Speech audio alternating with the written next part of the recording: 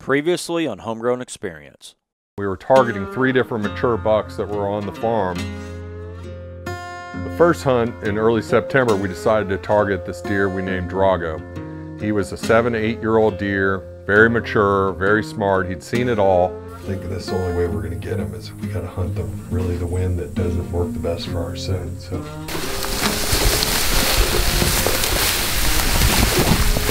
We're hunting this redneck back in the woods. And uh, yeah, we're gonna get in there and we got lunch. We're gonna sit all day. So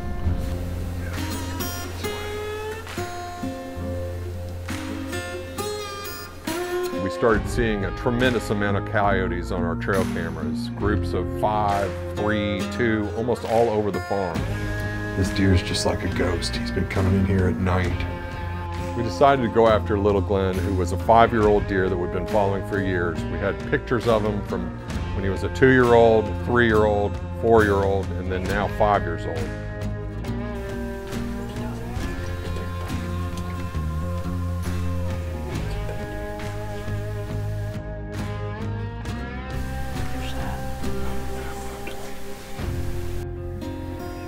That looks big to me. It's a big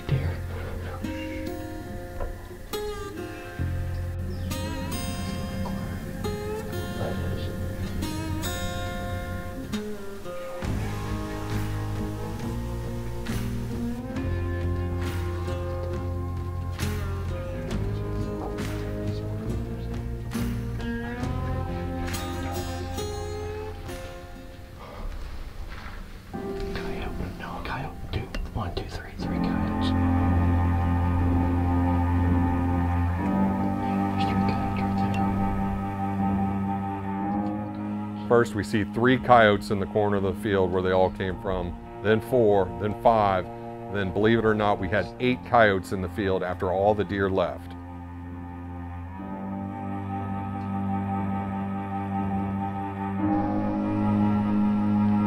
This would be a coyote hunter's dream to have eight coyotes in the field, but a deer hunter's nightmare.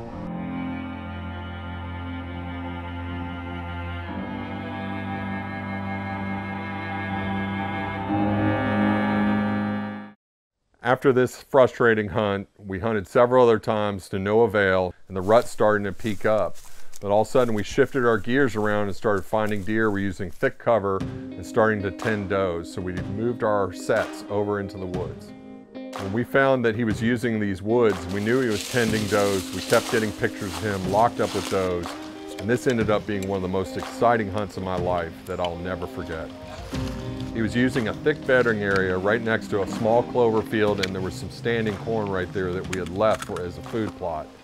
We didn't have a stand in there, so we decided to go in with the bush hog, mow some of the corn down, and in the bracket, we decided to hang our set right there on the deer. November 7th, 2020. Um, it's the week before gun season. We're in here. We just slipped into the spot. We've been getting some pictures of Little Glenn, this giant 10 point we've had a couple of encounters with. Um, you know, it's really warm out. It's in the 70s. Um, but the deer are making appearances. The mature deer are kind of hit and miss, doing most of their stuff at night. Um, but we got pictures of him coming out into this clover field the last three nights. Um, you know, he's just kind of coming out. All these deer are starting to check the does. We've been keeping tabs on these doe groups, and there's kind of a group over here that none of the other bucks are kind of hitting, and so he's moved in here, I think, to be with these does. So it's really warm. It's not the ideal wind in here, so um, we're sitting in a tree. We've killed uh, a lot of other deer out of this tree stand, so it's kind of a lucky tree, and uh, just hoping for the best. So we'll give it a go. Less than three minutes after this interview, I looked down the hill and I glance antler. It looks like a huge buck, and I wasn't sure who it was. Patted my vest and I forgot my binoculars. He's down in the woods right there. I'm pretty sure it was him. It's a big, tall, tall deer.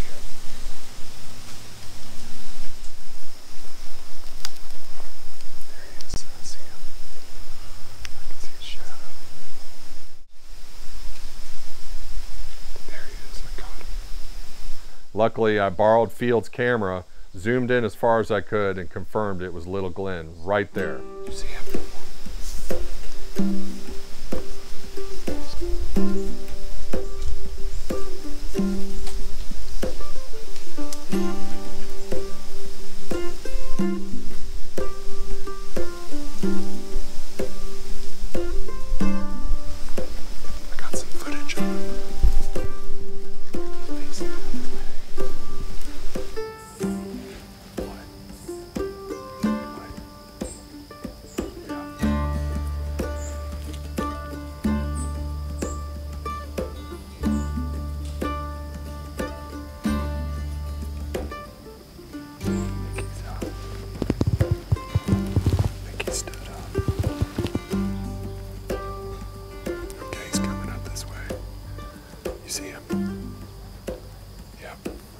watched him there standing and rubbing some trees and browsing a little bit without any does that we could see. All of a sudden he walks about 30 yards closer and beds up right in front of us at 3:30 in the afternoon.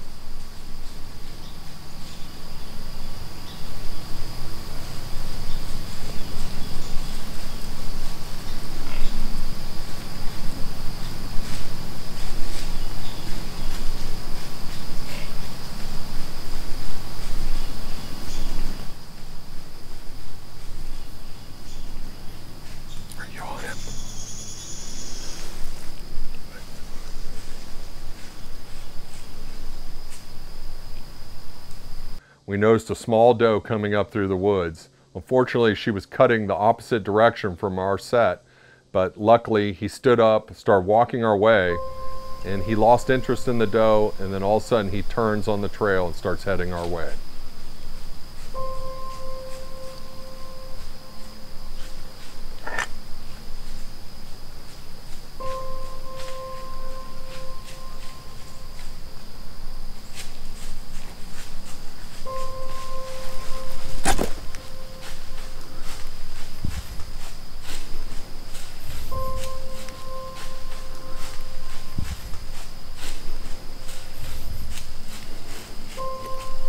Right.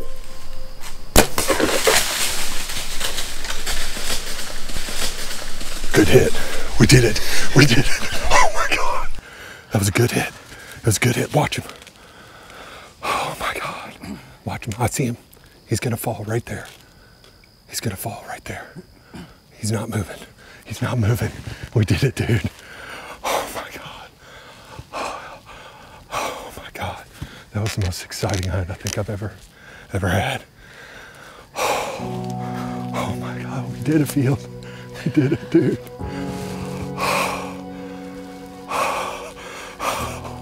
He's down. I can see his white belly right there. I can see it. I can see it. Yes.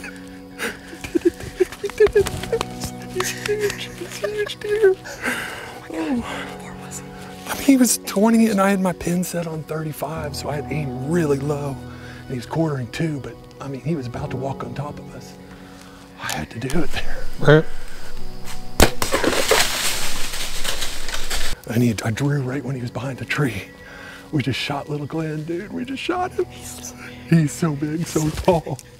Way bigger than I thought he was. Especially when he's only 20, how many, 15 yards maybe? Dude, I can see him. He's right there. I can see his belly.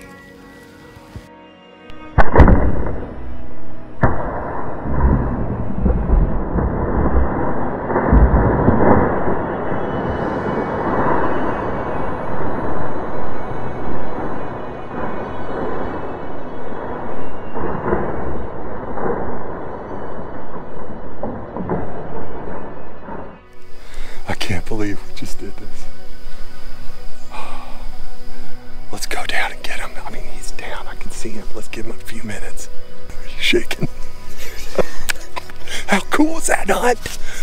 All right, we just got out of the tree. We know we smoked him. We just saw blood pouring out and we saw his white belly laying out there right away. And it's been 15 minutes, so we're going after him. Might stop and look, see if we can find the arrow. I think it passed through. There's a red carpet we're following. Look at all this blood. Look at this. That is incredible. I can see him. I can see him, brother. yes. There he is. Oh my God. Look at this thing. Oh, there's another buck. Oh my God. Oh my gosh. Look at this deer. Wow.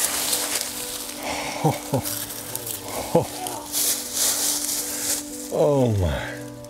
Look how tall and perfect that is. Look how this point, I didn't know it was that big. This stuff. Wow.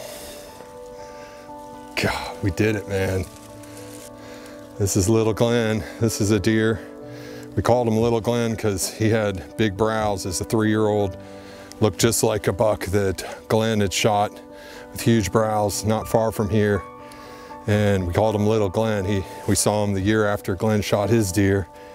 And we've been just passing this deer up, um, you know, for two years, letting him get bigger and bigger.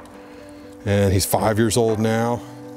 And uh, he's just, you know, just an unbelievable deer.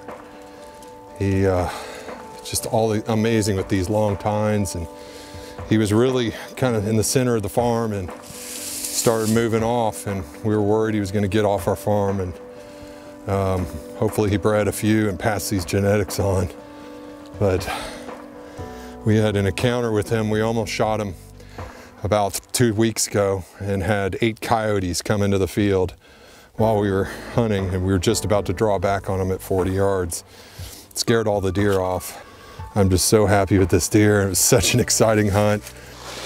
Mr. Todd Carter, the gamekeeper himself. See if he answers. We smoked it. You could see us on the camera. It looked like you were high fiving the field. That's why I It's like, what in the hell are they He saw us high fiving on the cell phone camera.